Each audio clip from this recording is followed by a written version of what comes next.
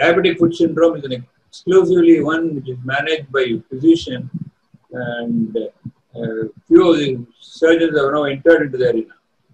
All these four or five decades, there's predominantly physicians thing and there is no separate specialty for a diabetic foot.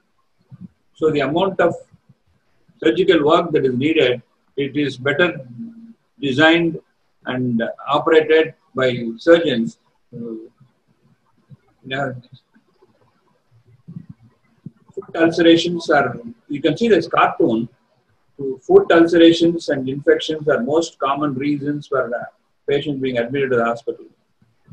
Any amputation precedes of three to four weeks of ulcer, uh, foot ulcers.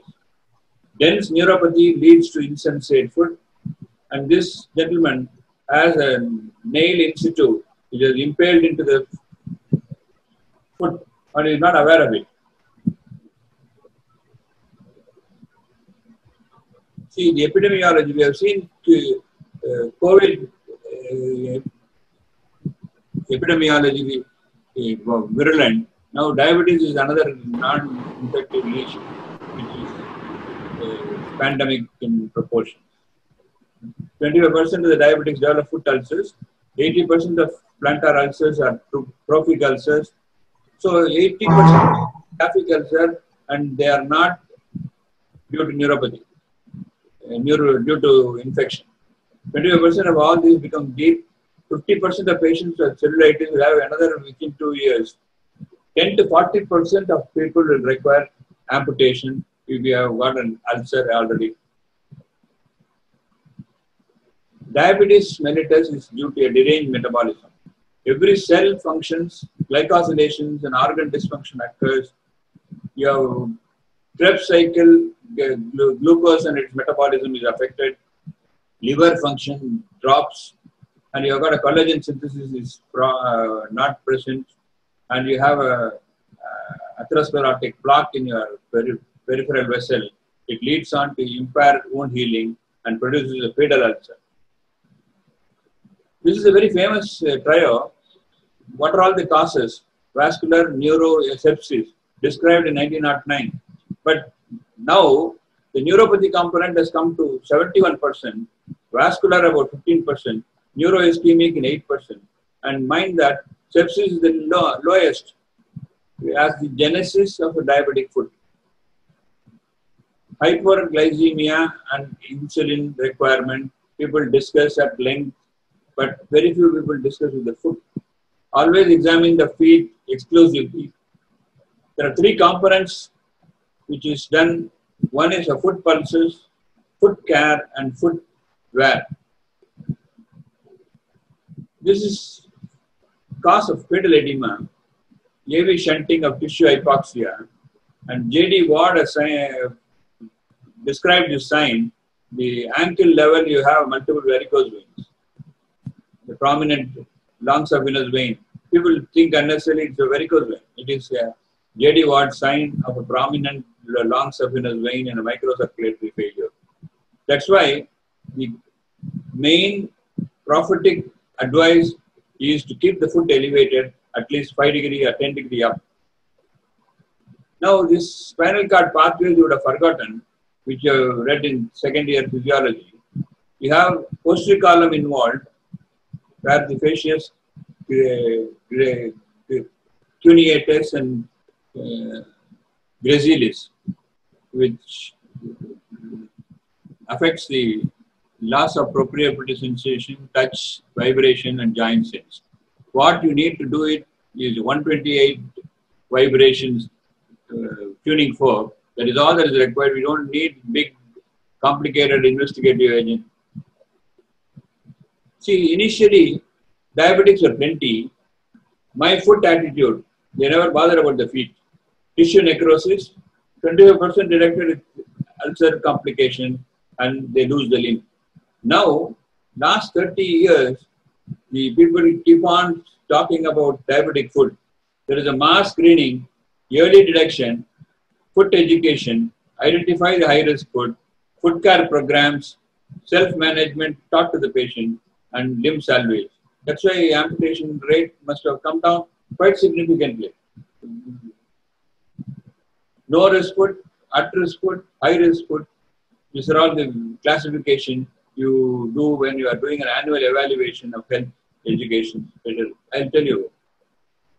The present pathophysiology is neuropathic neuroischemic triggered by 80% trophic changes producing sepsis of minimal quantity, neutrophilic toxic arteritis, and producing diabetic foot syndrome.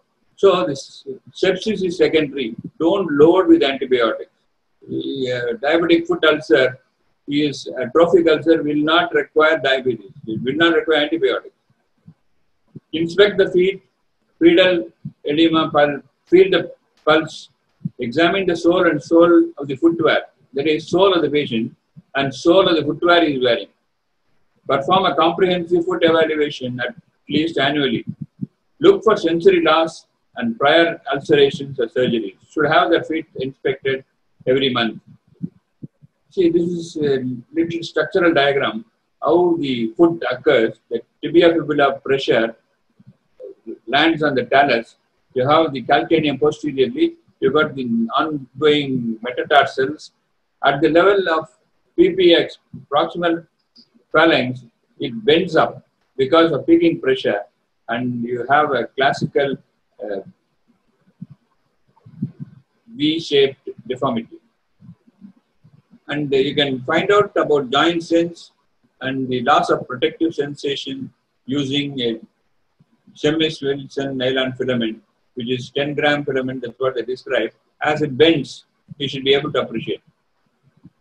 And these big authors, Delbridge, Lipsky, and uh, Bolton, they were uh, in the field for the last 30 years and they have produced thousands of papers.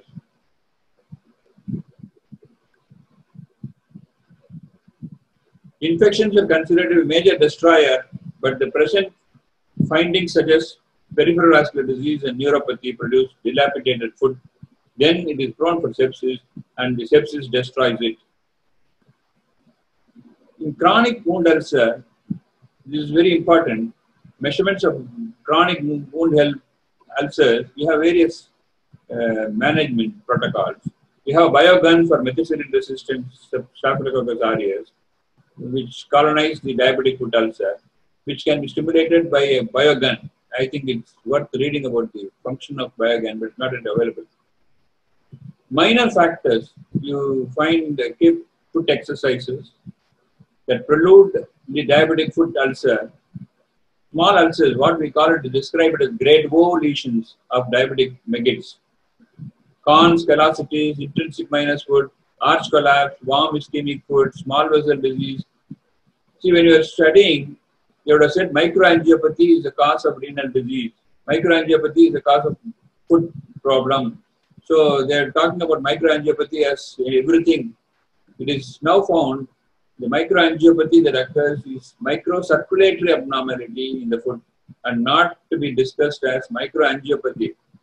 See, it is now called as microcirculatory failure. Initially, it is microangiopathy. You have uh, small vessel disease by the radiologist and physicians calling it uh, monkeypox. No, no. All palpable pulses will be examined and cardiac neurological visceral symptoms are noted. And when you measure the ankle brachial index, the cuff cannot compress the artery because they are calcified. So when the discalcification occurs, instead of 140, it goes on and shows 180, 30 to 40 degrees millimeters more. So that is falsely elevated, so it is not reliable. Skin perfusion pressure, PCO2 can be measured by toe pressure and as well as the leg ankle pressure at the index, brachial index is 50. The diabetic atherosclerosis, as most of the people have been calling it, it is renamed as diabetic macroangiopathy. It is like distal in nature. Normally, everything occurs at the thigh level and the iliac level. Now, this occurs at the popliteal trifurcation. It occurs in a distal end, younger patient, calcification uh, present, progressive disease, and bilateral, females versus male atherosclerotic norms are not present. There is diabetic macroangiopathy. So the entire classification and ulcer is based on Wagner-Meggitt classification. It's very important because it's easy to follow and we have various other classifications, Texas classification, IDSA classification and all that. We are not uh, uh, loading with all those things. Somebody can take this. What exactly is the typical plantar necrosis under the head of the first metatarsal? Dense neuropathy, patient with antiplatelets, oral antibiotic surface, and there is no cellulitis. You don't find the cellulitis, there is no need for no, uh, major antibiotics. Typical plantar necrosis under head of first metatarsal. Again, you see only the great toe. All the rest are near normal. Intrinsic minus deformity. I think uh, plastic surgeons are more familiar with it in the upper limb, palm. Intrinsic minus deformity is due to small muscle fibrosis and contraction. And uh, emergency wet gangrene, the aim of our father mission and prevention is less and less occurring. And I think it has come down dramatically last 50 years. What? Six the, can anybody talk on this? What exactly you find? Anything black, they say gangrene. In fact, it is not. In fact, the entire thing is only a cellulitis leading on to uh, skin necrosis and the skin portion clearing away. So the black thing is a skin necrosed in black and rest of the tissues are normal. This looks awful, but within three, four days after complete debridement of the skin necrosed, you will find it normal. A small toe gangrene is all that is required to diagnose something in the block at the external leg, femoropopliteal, uh, profunda femoris, profundoplasty. They're all the up thigh it is present, but you find report they're present with the toe gangrene. The sequel to paronychia, if not properly attended to, not elevated the foot, foul odorous discharge from the puncture wound, with diabetic infection, can be dangerous, can lose the toe because the two arterial supply on either side can go on necrosis. 100% of lateral malleolar at some time or other in their lifetime during the diabetic period, they develop an abscess. They necrose, they come back with uh, bursitis. Malleolar bursa is very nuisance this thing yeah, unless directed properly. And you will find a keratin well. You find the entire thing is because of foot nothing happens because it's a well of normal tissues and nothing like the allowing it to heal by keratin uh, by skin level. See, genesis of foot also. So far, you have seen uh, foot infection, but the main thing is foot deformities, altered weight transmission and uh, the ankle strain occurs. And there is sufficient good quality evidence to support the use of therapeutic footwear demonstrated in pressure relief by worn by patients to prevent plantar foot ulcers. Offloading is the best validated of all the current interventions. So you should select the place of peaking of pressure and give a right shoe. Foot pressure is 100 to 130 square centimeters, 50 to 65 kg man, you have 0.5 gram, kilogram at kPa. So uh, if it is beyond 700, it can from 50 to 700 it can wear. Uh, beyond 700 it becomes uh, an ulcer which gives way. The foot pressure measurements are not very often done do we practice what we preach? That is what Armstrong questions. Clinical care of diabetic foot DCCs have been considered as a gold standard by academic and consensus committees alike, but not practically done, preached. It's only preaching. And people who require amputations, they have chronic ulcer in the toes or foot or in the leg and thigh level, it needs amputation in selected cases. For individuals with an infected diabetic foot ulcer identified as for predictors of amputation, the, we, want, we have designed a GS score amputation for predictive scoring. We'll tell you amputation scoring. The standards of medical care of diabetes 2020 has been was released, and I think there is a big volume on this. Amputation versus limb salvage. The blood supply, chronic renal failure, score of sepsis, uh, X-ray finding, one X-ray finding, or history of ulcer. So you find all this, if it is present less than 30 years, there is no uh, nothing to worry, all are zero. 30 to 60 years, you have one absent post-tibial and mild uh, diabetic foot with sepsis, which can add to the score. You have 70 GS score, more than 75, it predicts amputation. You can tell the patient. The main thing that culprit is chronic renal failure, end-stage renal disease, which contribute to the amputation. This is a very interesting thing, osteolysis.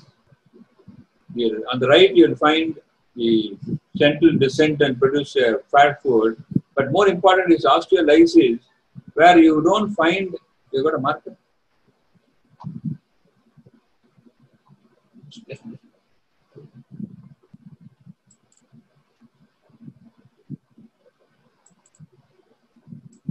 You find this.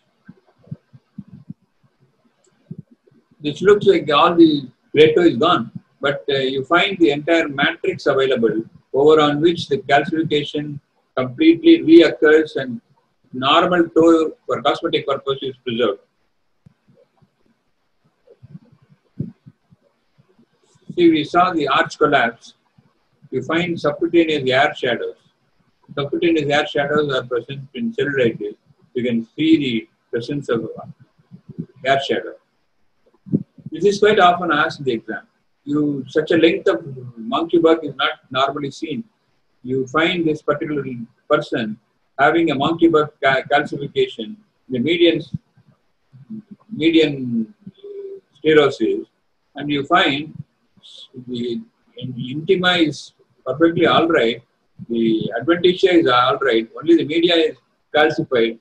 So it's a conduit, bamboo conduit for which blood can flow. But it is very difficult to believe that blood flows through that.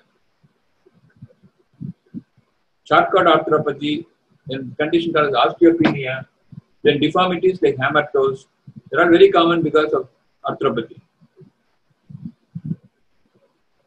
Radiological findings, osteolysis, we have said, penciling of metatarsals. We have the penciling of metatarsal.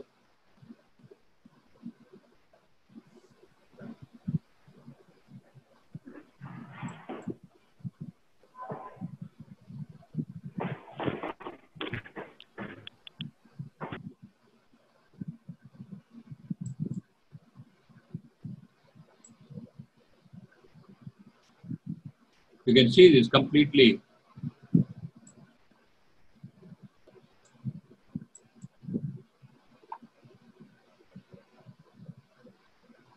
and you find vessel and mater deformities, which is of normally present in a diabetic foot ulcer. Vessel and mater deformity. You can see it here.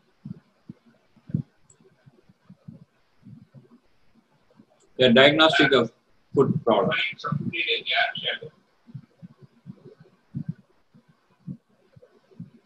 Value of MRI. MRI has been found useful in osteomyelitis, Charcot's abscess, all that. 1991, our department published a paper in diabetes care. Our work on topical phenytoin and diabetic foot ulcer was published with the diabetic care. It has been found to be useful.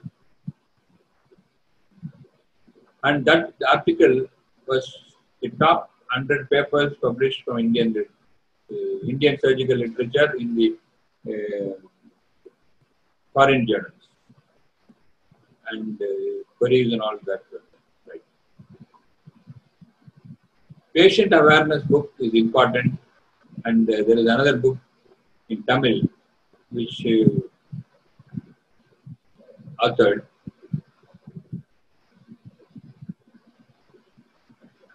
And we have our Padam Health News site where we have all about the uh, diabetic foot awareness.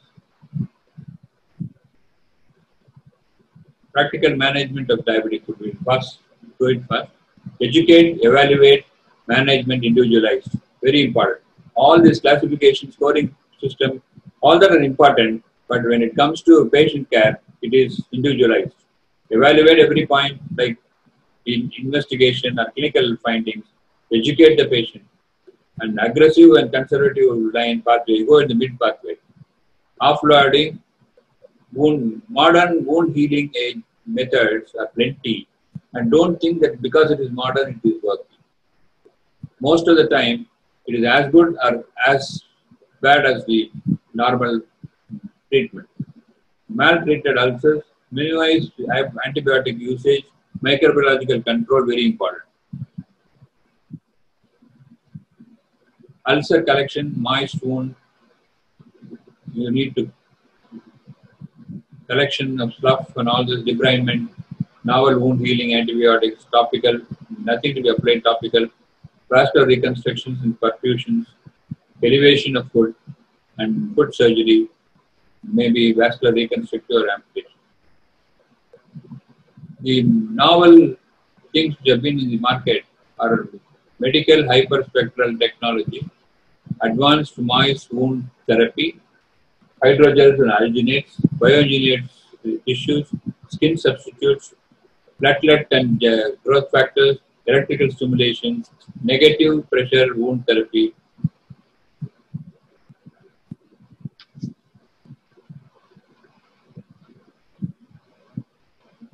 duplex scan of the femoral artery and the popliteal artery is all that is required. There is no need for an angio. Hyperglycemia, hypertension, dyslipidemia, and for a moment you become a surgeon, a physician, because it's very difficult to be a physician. Altered coagulation and fibrinolysis. Good glycemic control, statin treatment for cardiovascular risk, treatment of hypertension and uh, reduce the antiplatelet. iliac and biofemoral procedures, critical ischemia, and you improve the circulation to the both the lower limbs. And more important, the surgeon's job is lifestyle modification, exercise rehabilitation, and vascular surgery if it is required to operate and the entire wound management has to be done by a single person who has been doing it or every day he has to have a good progress written about the wound ulcers. So lifestyle modification, exercise rehabilitation, it is our motto is stop smoking and keep walking. That's the surgical motto. Acute steroiditis, you always look at the plantar side and also look, look at the leg. You have the red line demarcation is seen. If you left untreated, these are the people who have a streptococcal uh, pulmonary dysfunction. Similarly, we have found whether it is bypass versus angioplasty in severe ischemia of the leg uh, has been studied, but both are equally effective. But because it is smaller vessels, the results of bypass are poorer in the lower limb below the knee. I have authored another textbook on diabetic foot syndrome, which tells you about all the principles and the management protocols of diabetic foot. We, have started an initiative dedicated to the amputation prevention and improving foot care in the community. The newspaper has been circulating, and the main idea is a newspaper to educate everybody who are particularly diabetic. So educate the person on diabetic food. They are educate and educate again. Total contact casting, dermagraft, graft jacket, Apligraf, Regranex, they're all useful but very expensive. Like limb threatening or life threatening. Foot sepsis starts from the web space and the nail bed.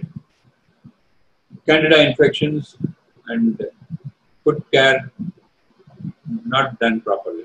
Trophic ulcers producing healing and all can be made to heal. Diabetic foot ulcer is often not a non-healing ulcer, but it is a maltreated ulcer. Pouring bottles of betadine, povidone iodine onto the wound doesn't help. If you're going to wash it, wash it with saline. Anything your face tolerates, put it in the food. Never put something like spirit, COVID-19, mupirocin. Only mupirocin is the exemption. There are two limited quantities, not much. Bacterial swab culture. Somebody was discussing with me about where do you specimens for bacterial swab culture? Do they do all the uh, resistance and uh, culture positivity and all that?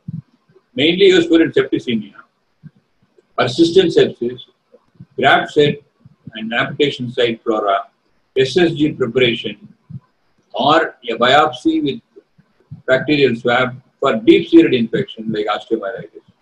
Routine CS in all infection is not necessary. Absolutely, it is not required. For superficial ulcers, are usually normally you find a bacteria. It can be a commensal, it can be a contaminant, it can be a coexistent, it can colonize all this, but not the causative agent. Another C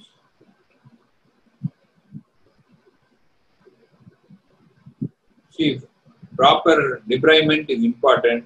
Debridement by maggot has been described, but smaller this thing are tackled by surgical uh, debridement, while you have maggots and all that for a higher chronically non-healing ulcers. Skin cover and timings. You should put it in the proper site and proper place and then it heals well.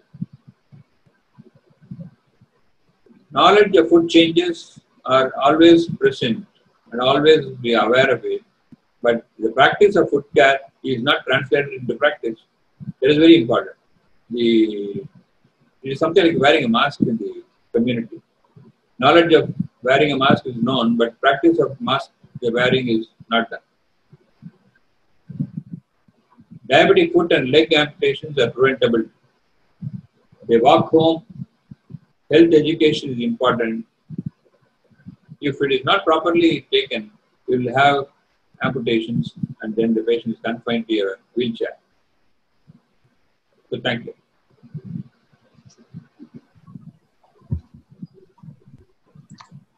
Thank you, sir, for uh, such a nice uh, and illustrative lecture on diabetic foot. Uh, and uh, you seem to have done uh, a lot of original work and written papers and published uh, books. So we, I think the students should be much aware of. Any any questions from the audience, please, to Professor Kumar? Mahabedra.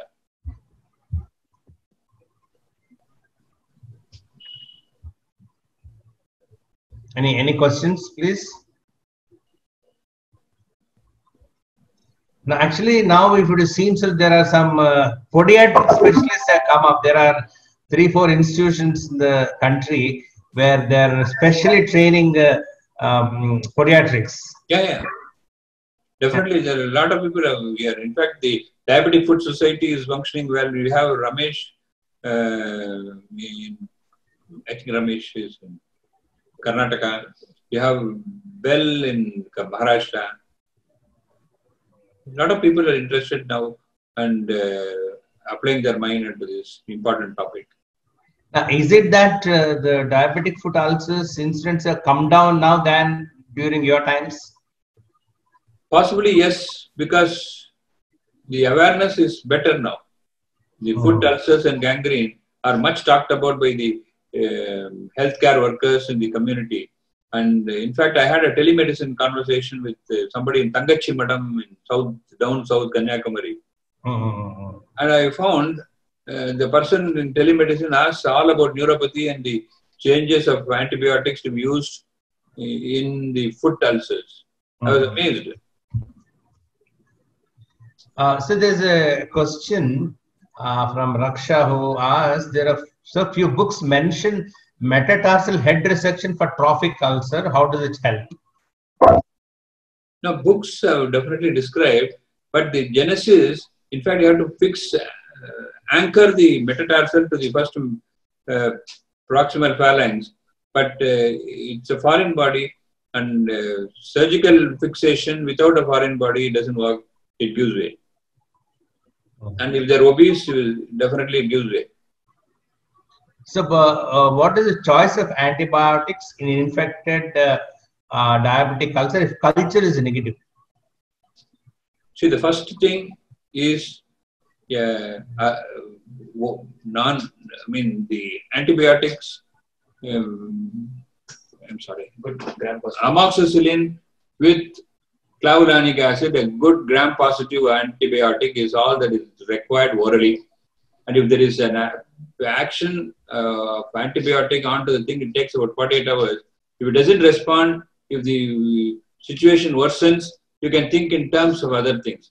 If the culture is negative, it doesn't uh, make much sense because uh, the wound is important in the culture. Uh, what should the ideal dressing technique to follow for residents in diabetic foot ulcer? The principle is moisture maintained. And all sloughs, all foreign bodies, all gangrenous tissues must be excised. Minimal excision, it has to be done in the bedside. It need not be taken to the theater. It has to be done bedside and excision can be done. And if the patient is having fever, you use your schedule in the evening. Because if you see the patient in the morning, you have fever, you, the debridement is not done with the fever. Okay. So, any more questions from the audience? Verbal questions, please come up. So, if there are no questions, thank you, sir, again Thank for you. a nice lecture on a Saturday evening. And we shall see you again next week. Next Thank week. you. Thanks for your time. sir. Thank you.